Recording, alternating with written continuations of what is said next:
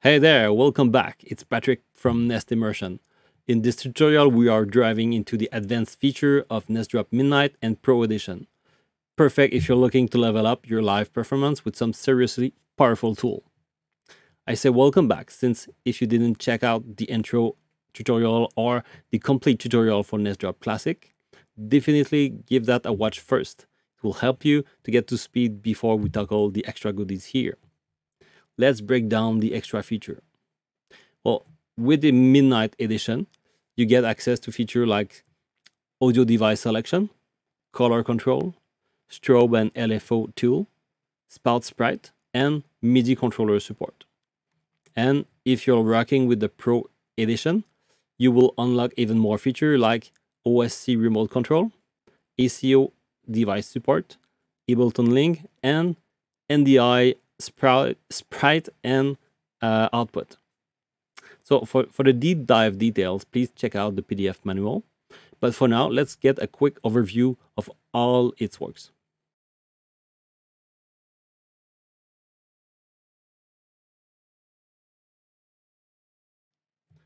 This is where you pick which audio input Drop will listen to for visual reactivity. So whether it's a, your webcam microphone, a line-in, or an output interface, just select it here. One thing to note, change only takes effect after you restart the deck. No stress, just close the deck window and it will relaunch automatically. And heads up, if your output device doesn't support audio feedback, you will see an error message. Unfortunately, you, you have to pick another device that does or switch to an input instead. The color section gives you extra control over the final look of your visual. Most sliders here are pretty straightforward, but keep an eye on Luma Key. This one lets you knock out dark and bright area of your visual, making them transparent but it, you won't actually see the result in the video deck itself. You will notice it when you're la layering it on top of another visual. Like in this example, I send the deck 1 over the deck 2 with a right click.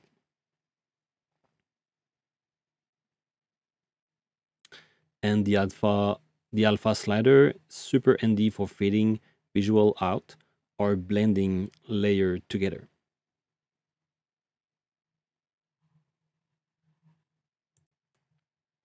Strobe and LFO.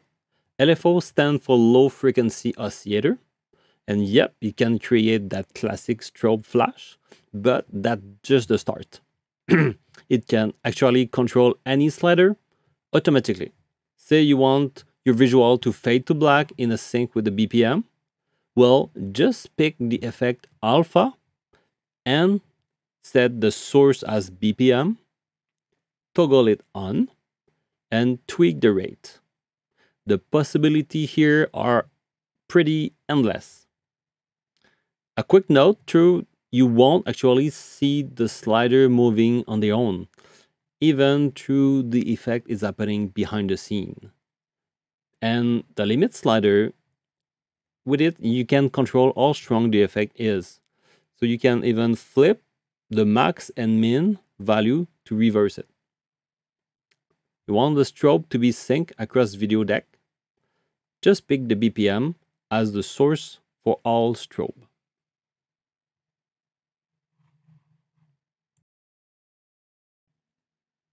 Sprite. But before talking about Spout Sprite, Sprite are basically images that you can drop into your visual. They can even animate or react to the music. To trigger a sprite, just click on it. But before you do, when you're over, over the button, you will see options like overlay and nested. Overlay add the sprite at the beginning and at the end of the drawing process, while nested just add it at the beginning only. You want to change the effect? Hold Ctrl and scroll your mouse wheel on the button. To use your own image, just toss them into the sprite folder and restart Drop. or drag an entire folder into an empty queue windows. Now, if you're using a Midnight or Pro, you got access to Spout Sprite. Instead of a static image, these use real-time video stream, like another uh, video deck from NestDrop or um, live feed from OBS. It's a very powerful tool and it's by far my favorite feature in NestDrop. It allows you to mix different deck together and makes visual feedback or add awesome effect on live video. And you can of course import your video feed from your favorite VJ software like Resolume. Just activate the texture sharing spout output, then play anything you want, and you should see the Spout Sprite button here. Right click on it to use it on video deck 2 or left click to use it on deck 1.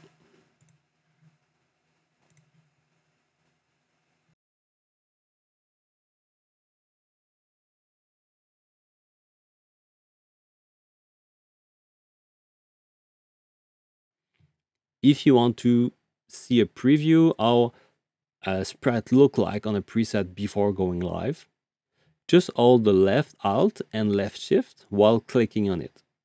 This way, this particular sprite will be used as nested in the live preview.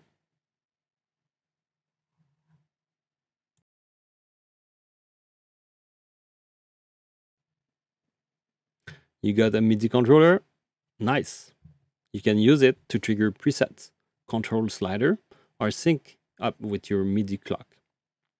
Just drag your MIDI device into an empty queue from the MIDI tab and start pressing button, key, knob, whatever, you will see them pop up as a MIDI button in this drop. From there, you can link preset, sprite, text button, slider, or even special hotkey by dropping a MIDI button into them.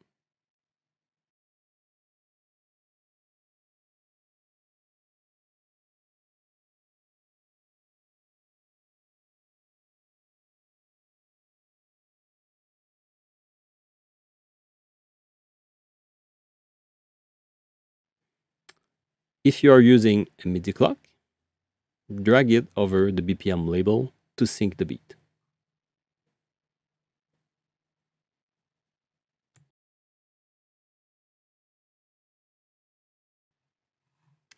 If you're on Pro, here is what else you get. OSC, Ableton Link, ASIO, and NDI. To control NestDrop from another device via OSC, just pop into the OSC section under the Deck tab. Set up your IP and port, and click around the UI to see the path and value you will use for each control.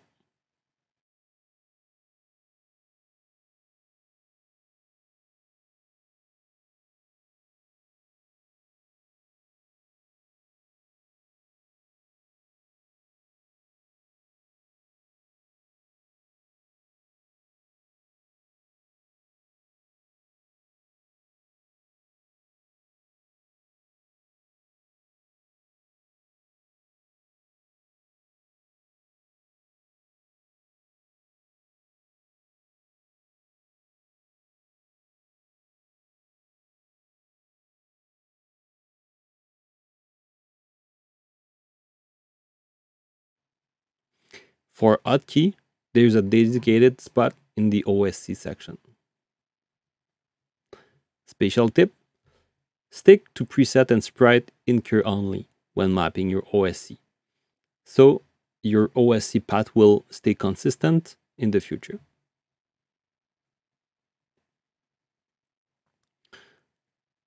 You can also sync your BPM with Ableton Link. Just check the box and you can either let the network BPM handle things or lead the way with the auto detect from the live preview by checking the other box. And if you need low latency audio or professional audio device, ASIO is your friend. Just pick your device and select the right input. Change only takes effect after you restart the deck. Just close the deck window and it will relaunch automatically.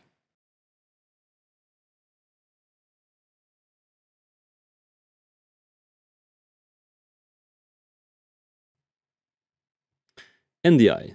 Well, NDI is just like Spout, but over a network.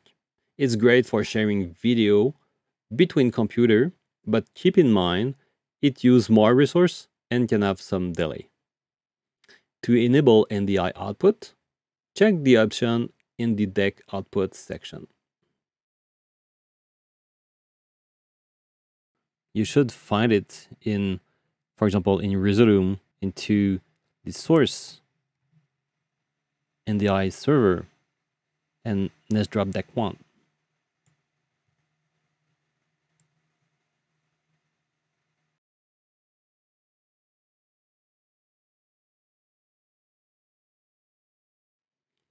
Then for NDI sprite, you can use it as Spout sprite. But since it could take a few seconds to start a new NDI connection, if you want to keep an NDI sprite connection active, turn it on in another deck.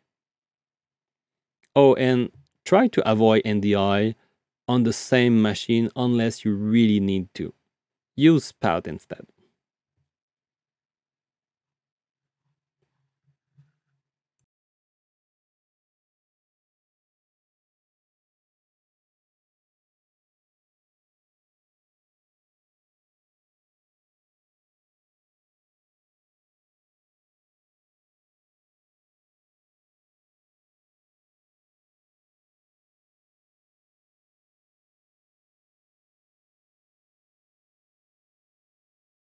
And that's the tour.